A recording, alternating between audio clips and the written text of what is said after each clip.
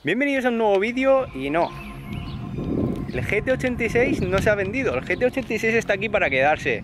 Hoy le vamos a hacer unas cuantas modificaciones que tengo pendientes y solventar algunas cosas y hacerle un mantenimiento de caja de cambios y diferencial. Hay mucha gente que tiene olvidado el tema de diferencial y vamos, tiene un mantenimiento igual que si fuera un motor. Tiene su aceite, igual que una caja de cambios y eso vamos a hacer. Tanto la caja de cambios como el diferencial, cambiarle el aceite y vamos a solventar un ruidito que tengo en los colectores. Es decir, cuando subo una cuesta, por ejemplo, que hace como que tira más del peso de los colectores, hace un pequeño ruido y yo creo que es porque las, las tuercas están un poco flojas. Vamos a desmontar todo lo que son los cárteres y vamos a ver qué nos encontramos ahí. Así que nada, vamos. Ya tenemos elevado el coche y puestos en las borriquetas. Sé que no es la mejor manera, pero bueno, no tenía elevador. Y nada, seguridad ante todo. La buena llanta debajo de la, del coche por si acaso se cayera. Eh, recemos de que no se caiga. Y nada vamos a abrir el cubre cárter que como habéis visto en anteriores vídeos es el cárter este de aluminio y la chapa está de aquí detrás. Eh, va con unos tornillos y nada se sacan los tornillos y ya podremos acceder a los colectores perfectamente y seguramente tendremos que sacar la línea del tramo medio. Veremos a ver si, si podemos sacar los colectores sin sacar la línea del tramo medio. Vamos a, a desmontarlo. Pistola y para adentro. Aunque parezca que esté aquí a gusto tumbado, no lo estoy. Estoy a centímetros del coche. El que no tengas los medios para hacerlo no te impide hacerlo. Así que nada, te puedes buscar borriquetas, un gato, elevar el coche y hacer lo que se puede. Bueno, y así es como se sacaría el cubre cárter. He estado como una hora sacando esto, pero es lo que toca. Vamos a ver qué nos encontramos ahí en los colectores. Y antes de ver eso, vamos a organizar los tornillos y todo para que no se pierda nada.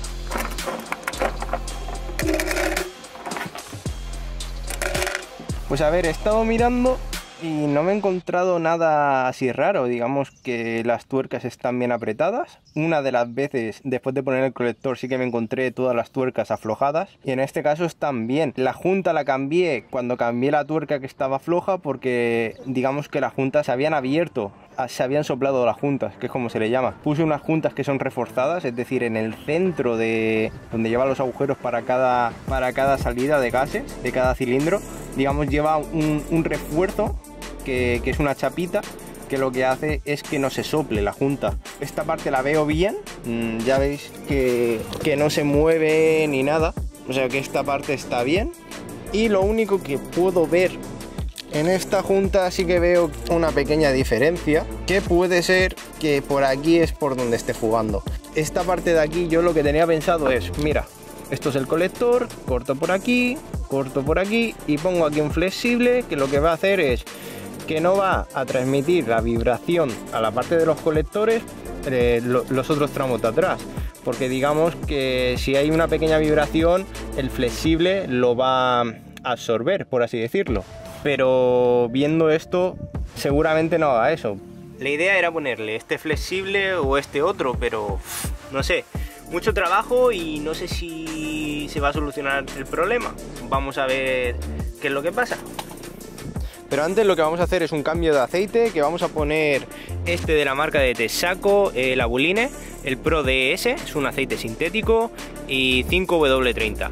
Es un aceite que para los GT86 dicen que lo mejor es el 0W20 pero es un aceite que en realidad eh, funciona muy bien a bajas temperaturas y demás, pero como yo vivo en una zona donde hace bastante calor, voy a probar este 5W30 si no me funciona bien este, pues lo que haré es volver otra vez al 0W20, pero bueno, por probar que no quede. Yo creo que en las temperaturas que tengo donde voy a utilizar el coche, este va a ser el mejor.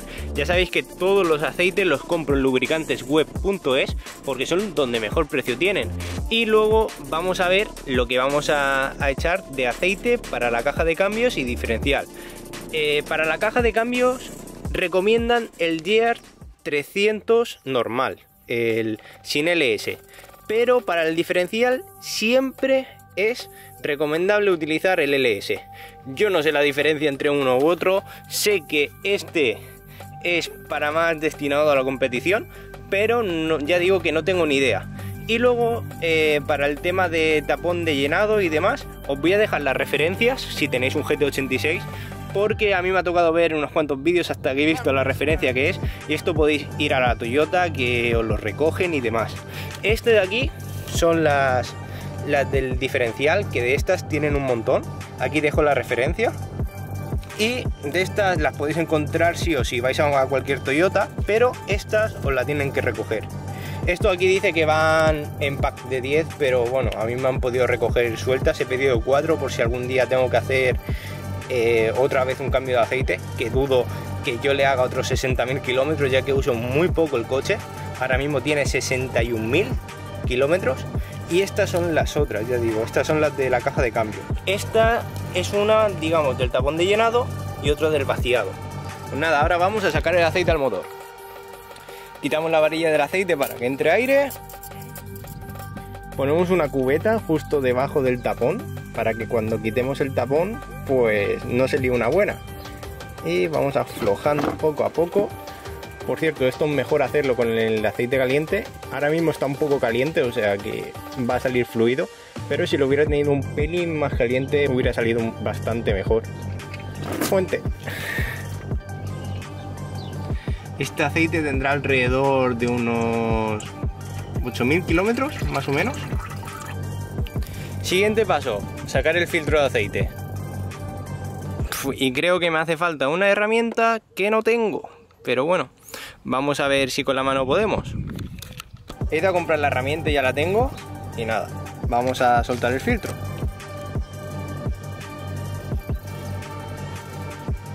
Ahora sí que se puede sacar con la mano. Y aquí tenemos el filtro, que la verdad no se ve muy sucio. Vale, este es el filtro nuevo que también lo he comprado en lubricantesweb.es y vemos que hay grandes diferencias, ya que este es más alargado, este es el oficial y es como más achatado y más, más ancho. Pero la función es la misma, tienen los mismos agujeros, eso es muy importante que hay que comprobarlo. Y luego el diámetro de esto y esto lo he comprobado con el calibre y es igual, entonces hace la misma función. Ahora importante, mojamos un pelín el dedo y mojamos la junta. Ahora con el aceite puesto en la junta, solamente queda ponerlo aquí y enroscar. Siempre muy importante para enroscar, no hace falta hacer mucha fuerza, ni utilizar la herramienta para apretar, ni nada. Le damos un apretón con la mano hasta que no podamos más y es más que suficiente. Hasta que veamos que no podamos más, eso es más que suficiente para que no pierda por la junta. Ahora vamos a hacer un pequeño enjuague que vamos a meter un poco de aceite y cuando pongamos un poco de aceite ya cogemos, le ponemos el tornillo del cárter y listo. Ponemos un embudo y echamos un poco de aceite. Tornillo puesto y nada, limpiamos un poco y sacamos el aceite viejo afuera. Ahora lo que tenemos que hacer es echar el aceite al motor, que son 5,4 litros. Esta garrafa tiene 4 litros, entonces nos va a hacer falta otra que la tengo ahí dentro. Este embudo la verdad es que está bastante bien porque tiene filtro incorporado, o sea que no va a entrar ninguna suciedad al motor ni nada. Vale, tiene 3,9 o algo así. Vale, aquí tenemos la marca, aún no hemos llegado al 3 y tendríamos que llegar aquí, al 2,5.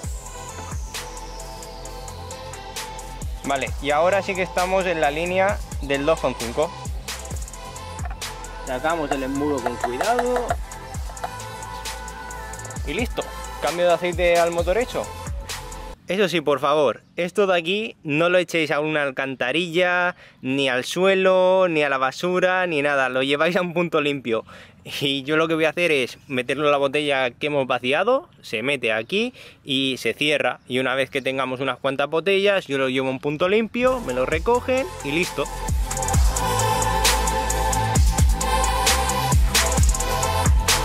Ya estamos en el día siguiente, seguimos con el mantenimiento del GT86 y ahora lo que vamos a hacer es sacarle el aceite a la caja de cambio. Vamos. Y aquí tenemos el tapón de llenado y el tapón de vaciado. Ya tengo la llave correcta y ahora lo que vamos a hacer es sacar un poco el tapón de llenado y luego ya sacaremos el tapón de vaciado. Hacemos esto para que coja aire la caja de cambios y así salga con más fluidez. Y aquí tengo la cubeta. Nada, ya lo tenemos aflojado y ahora vamos sacando el tornillo.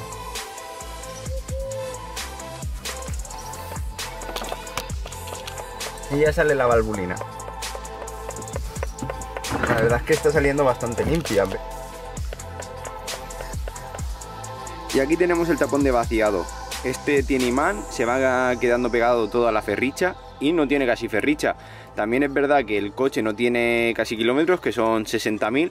Lo recomendado es hacerle eh, el cambio de valvulina a los 60.000, que en este caso nosotros lo estamos haciendo a los 60.000, pero yo creo que la Toyota y demás no lo hacen en los 60.000 kilómetros.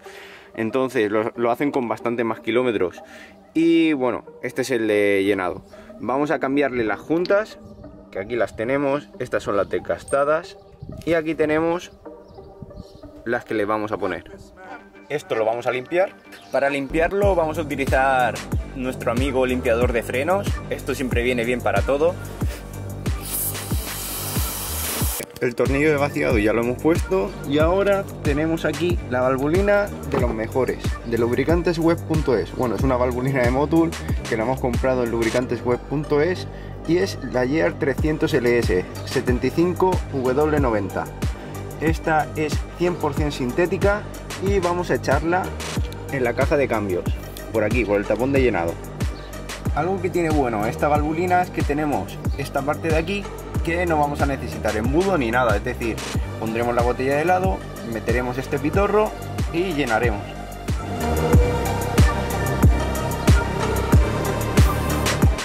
Y así es como se llena la caja de cambio de aceite en automático.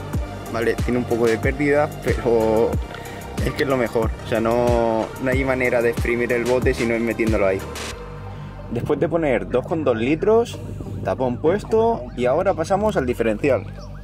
Y como la caja de cambios, el diferencial tiene el mismo sistema. Un tapón de llenado y aquí un tapón de vaciado. Abrimos el de llenado para que coja aire y abrimos el de vaciado para que salga todo el aceite. Pues nada, este ya lo tenemos sacado y ahora falta el de vaciado.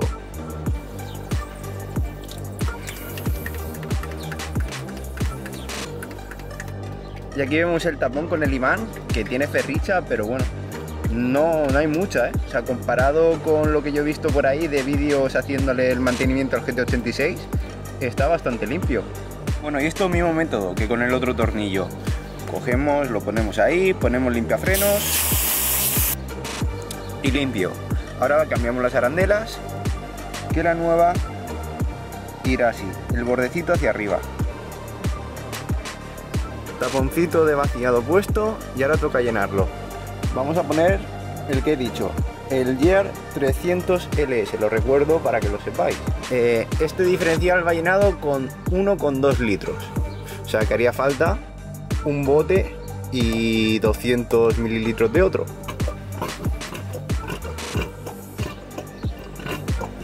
Una vez que veamos que sale la valvulina, ya es cuestión de poner el tapón y apretarlo.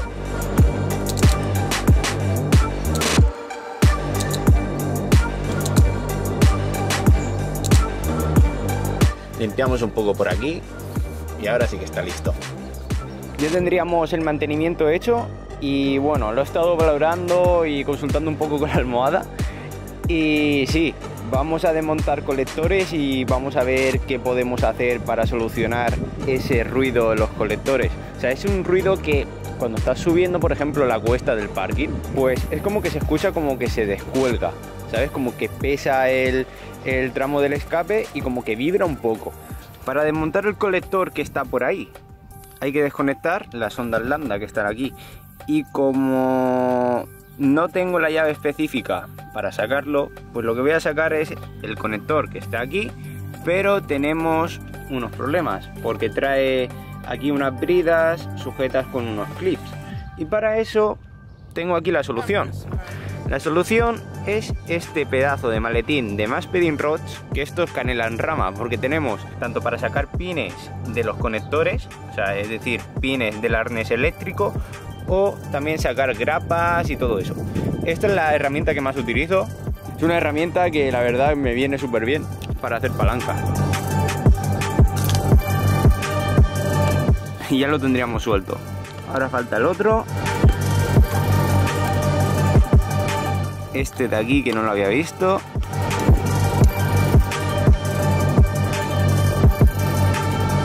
Y por aquí conectores sueltos. Vale, estaba aquí desmontando los colectores y he estado valorando un poco la situación y viendo a ver por dónde pasaba el tramo. Y veo que por aquí, que pasa por encima de la cremallera de dirección, eh, lo que veo en esa curva de ahí, eh, digamos que está tocando. Entonces, si muevo yo, o sea, está aflojando tornillos para que se mueva más. Y si lo muevo, o sea, está tocando, pero literalmente que está tocando. Entonces, cuando acelero el coche, posiblemente el tramo vibra. Y cuando vibra el tramo, está tocando, digamos, en la parte de, de aquí, en la chapa esta. Esto la cremallera de dirección y el tramo pasa por encima.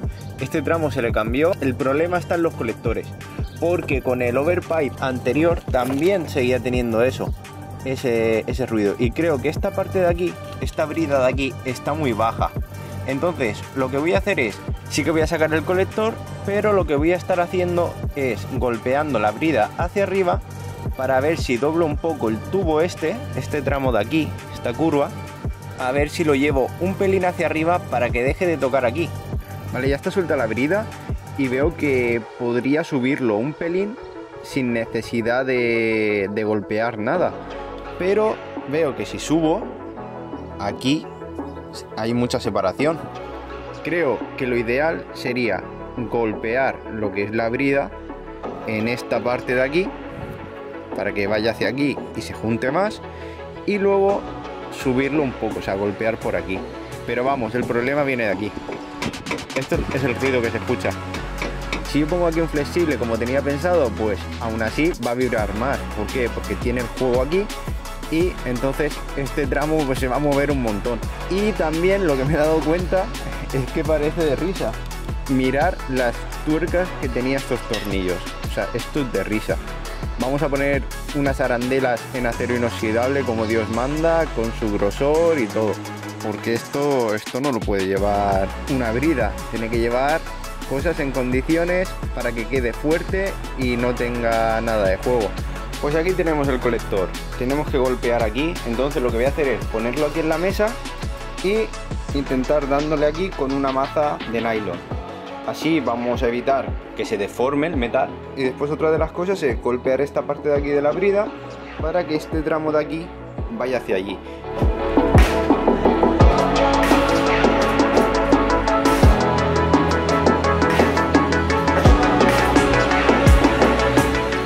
No sé si habremos ganado muchísimo, pero es cuestión de probarlo. Pero para probarlo me he dado cuenta de una cosa, es que digamos que la brida que va al bloque del motor, digamos que no entra bien. Y lo que pasa es que estos agujeros no cuadran bien con los espárragos. Entonces hay que comerle aquí un poco con la Dremel y una flechita y nada, vamos a ver si lo hacemos.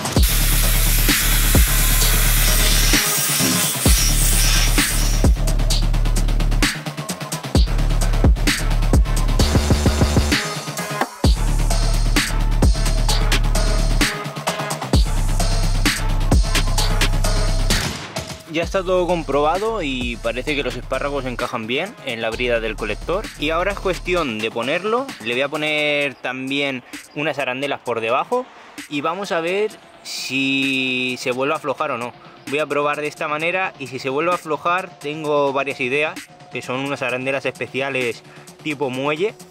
Yo creo que con eso ya sí que no se aflojará más pero de todas maneras vamos a probar si con unas arandelas simples se, no se afloja y listo, porque he ido a unas cuantas tiendas y hoy sábado no tenían de ningún tipo de arandela. Así que nada, vamos a, colocar el colector. Vale, la brida del colector funciona perfectamente, como veis. Luego, aquí lo que hemos hecho es correr un poco hacia arriba, o sea, con lo que me permitía de aquí de, de las orejeras hemos subido lo máximo posible y si veis ahí la luz que hay, ya no toca. O sea, no toca y bueno, apretaremos bien para que el poco espacio que hay no se venga abajo el escape y, toque como, como antes con la vibración que, que hacía. Yo creo que lo que pasó antes es que se apretó el tubo de escape estando bajo y por eso vibraba. Y luego aquí la brida que teníamos estaba bastante oxidada y lo que vamos a hacer es colocarlo igual con una junta. Y la junta que iba ahí era esta, que está no llega a fugar porque está reforzada, pero igualmente está bastante oxidada y demás. Y lo que vamos a poner es esta junta, que es de 2,5 pulgadas y además es reforzada, igual que esta, pero tiene más base. Entonces, con esto vamos a evitar que tenga fugas. Ya he conectado las landas de nuevo. Pues nada, día siguiente amanecemos con lluvia y nada, toca trabajar igualmente. Voy a arrancar el coche y lo que voy a hacer es meterme debajo para comprobar que todas las juntas no fuguen. arrancamos.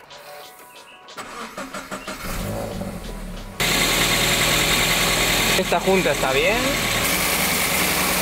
Esta junta también está bien.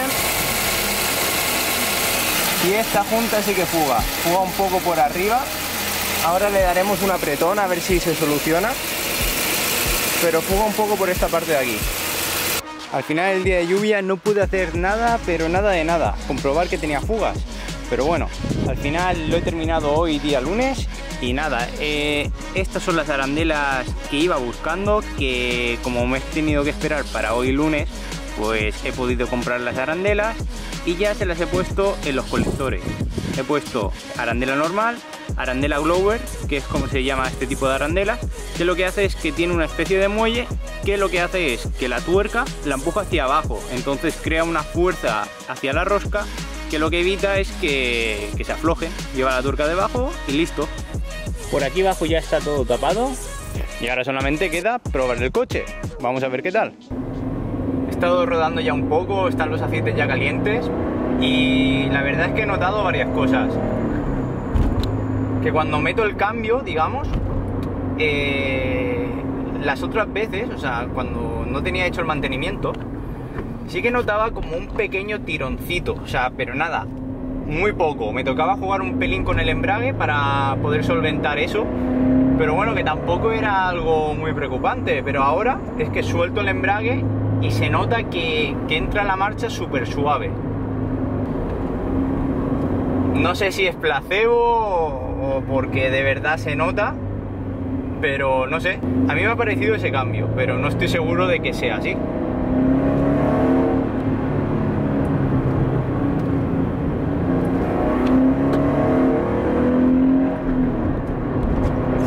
metiendo marchas rápidas funciona súper bien. Ahora estoy en una pendiente y el escape la verdad es que no se escucha. Uf, murió.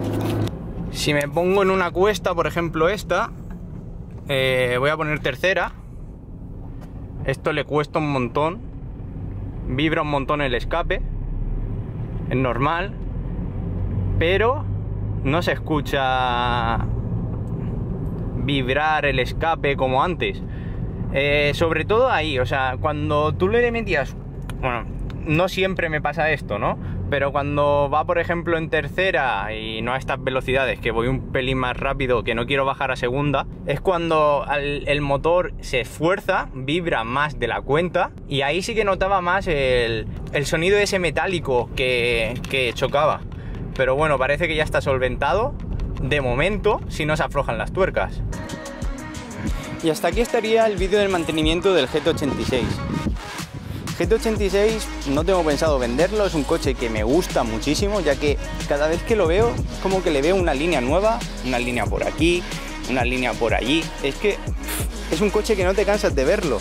Es un coche que solamente lo tengo para cogerlo los fines de semana, utilizarlo muy poco para no hacerle casi kilómetros, pero siempre hay que tenerlo a punto. Y nada, para tenerlo a punto, pues lo mejor son comprar todos los aceites en lubricantesweb.es porque tienen el mejor precio y aquí abajo os dejaré un código de descuento para que podáis adquirir todo lo que le he comprado al GT86 para vuestro coche.